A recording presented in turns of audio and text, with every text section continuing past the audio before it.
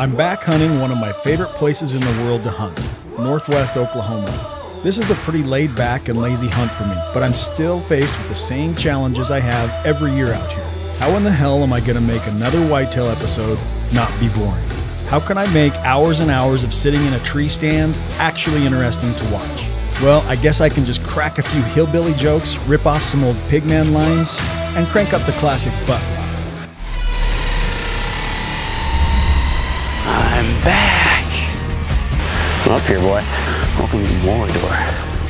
I bet you want to see him, don't you? Boom. Look at that guy. I'll tell you this right now. If I lose another big buck like that to these damn cameras, patience is definitely a virtue that I have. Or laziness. This thing's a tank. It's a bad day right there.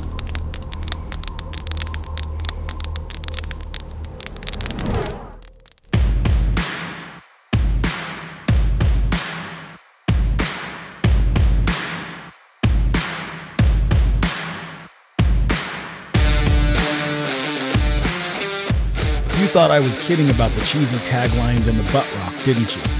Nope. My goals with this week's hunt are easy find a big deer and kill him. Use more than one Brian Quaca line, shoot more slow motion shots than my good buddy Jason Matzinger, and make even the most hardened of non whitetail hunters like Remi Warren want to go out and give it a try. When it comes to hunting whitetail deer, there are really only two weeks out of the year that I even care to dedicate any time towards it. And now is the prime time. Bucks are cruising all over the countryside, and it feels almost unfair to see how one minded these bucks are. I feel like if I put in my time, sooner or later, a big gnarly buck is likely to walk under the stand. Awesome in theory, but reality often has its own course.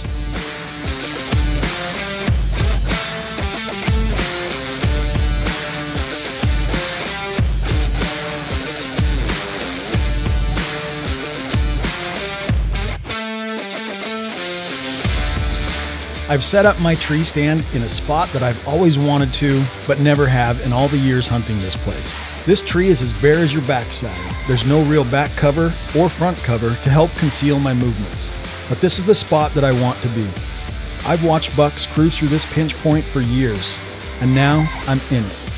I'll just have to sit real still, watch my movement, and keep quiet, and hope that they come through with their heads down. So far, the plan is working. Kind of.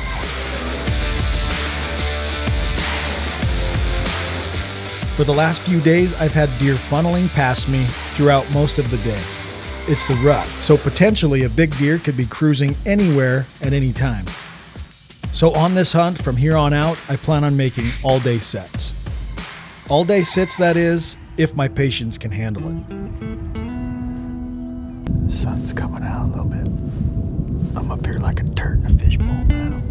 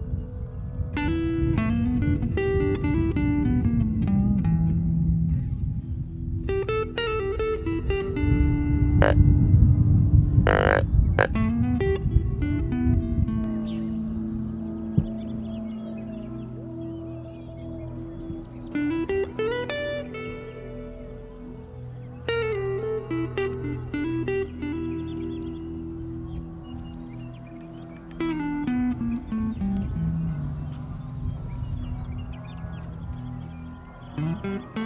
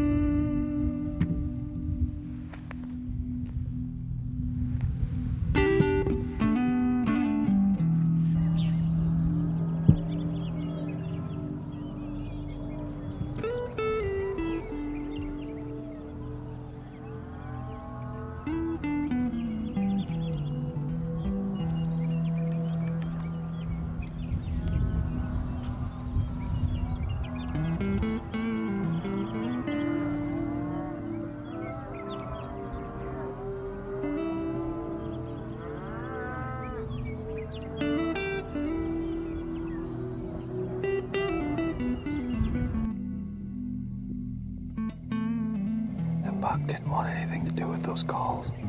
Hit him with the grunt and the snort wheeze. He just walked away.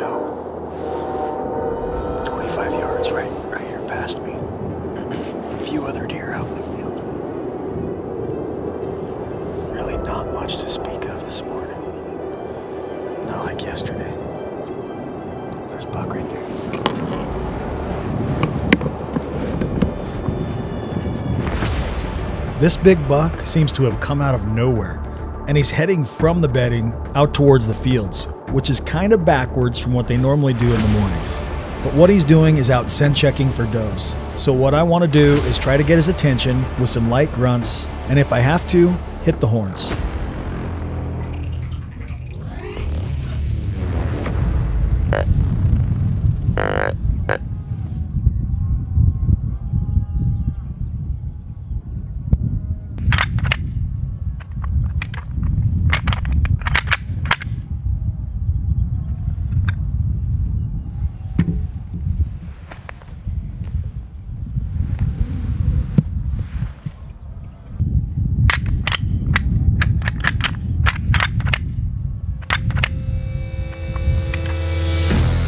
When this buck turned his head and started to beeline towards my direction, I got to admit, I kind of peed a little.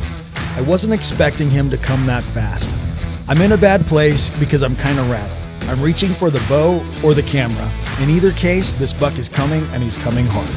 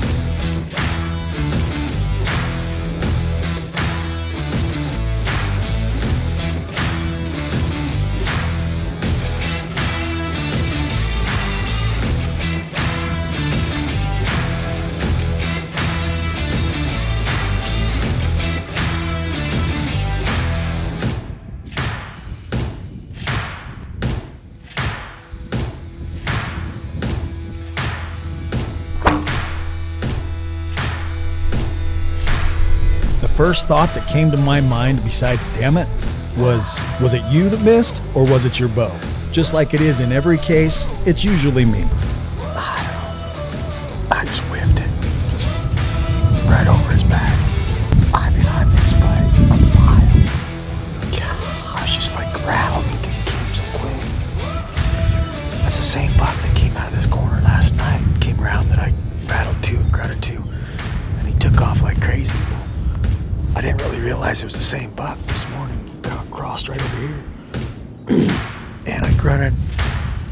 Nothing, snort nothing. And I hit the rattle bag.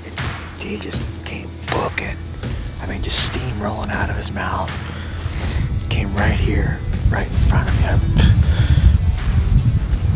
I, I wish I could have just focused and watched him walk through instead of watching it through the little viewfinder, but whatever.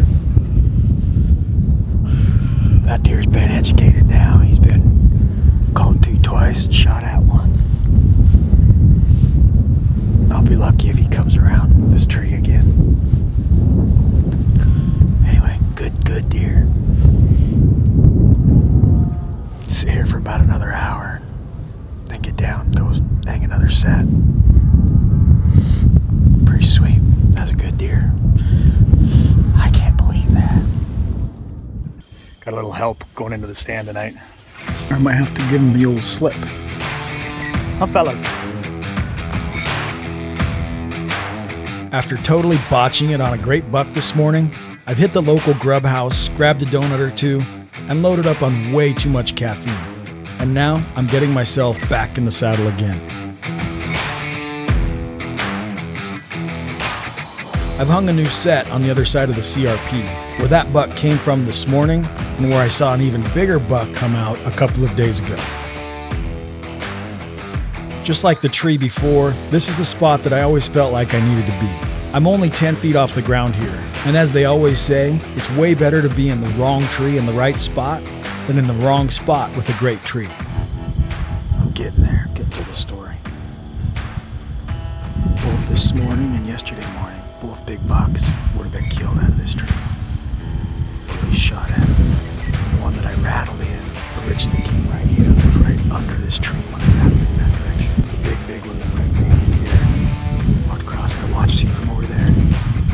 If you didn't hear what I just said because I screwed up and had the wrong setting on my mic this morning, what happened was both big bucks that I had seen this week would have been killed if I was sitting out of this stand. So, with any luck this afternoon and in the morning, one of those two big bucks that I'm after will walk under this tree one more time.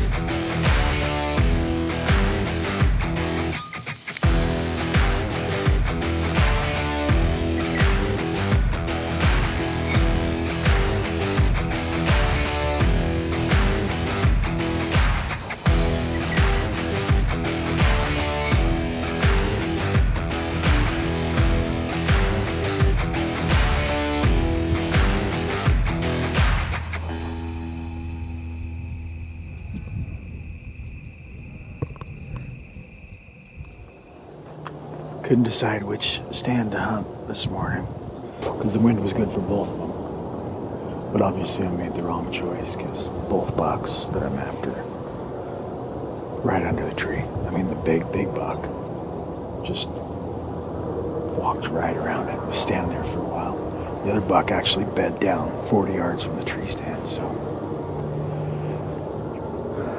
made the unlucky choice this morning. I'm to uh, work back over there, get my camera arm and everything set up back in that stand.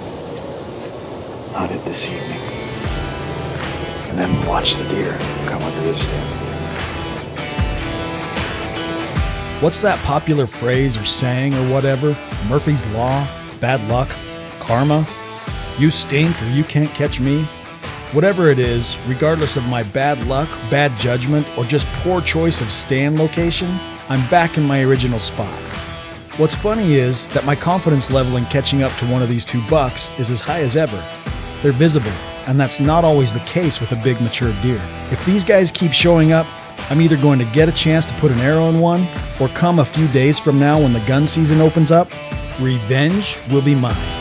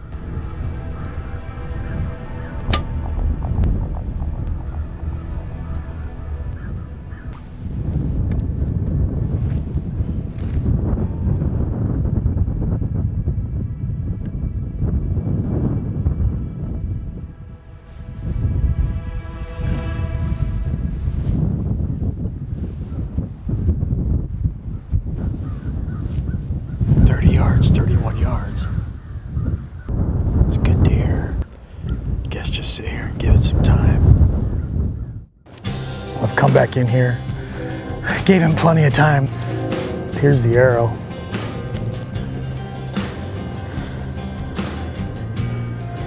What I'm gonna do is go in here where he went in. I mean, I, I didn't want to penetrate it all, so I'm gonna go in and look for any blood. And you see here where he ran off. You can see his footprints.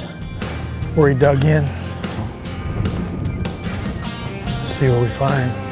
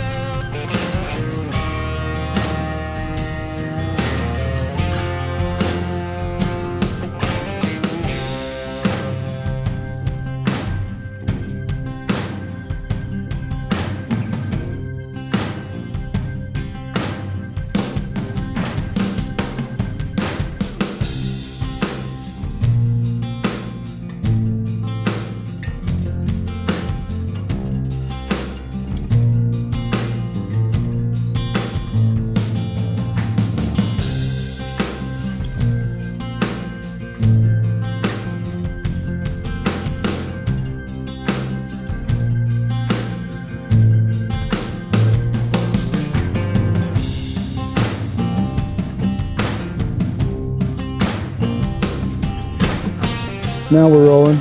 Check, check. Just a cool deer right there, man. Awesome buck. Super highs and lows. I mean, you hear it all the time. But this buck gave me the slip one morning. Walked under my stand while I was in the other stand another morning. And, uh, you know, didn't know if I, then I lost him for a couple of days.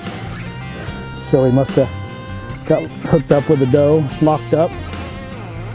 And then this morning, this morning, he just came through. I mean, I, I wasn't really expecting him. I was expecting a deer, you know. I didn't, I knew that I had lost him for a couple of days, figured he was with some does, but just a cool, cool buck, man.